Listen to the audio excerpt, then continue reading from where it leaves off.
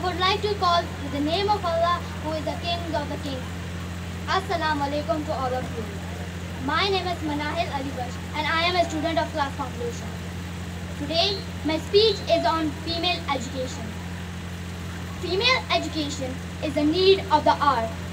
Without educating the women of the country, we can't hope for a developed nation.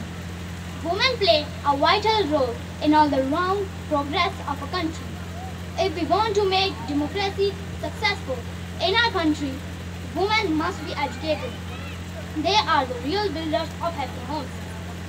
It is said that sorry. It is said that if we educate a man, we educate a man only. But if we educate a woman, we educate the whole generation. This highlights the importance of female education. An educated woman will contribute financially for the needs of her family and relatives.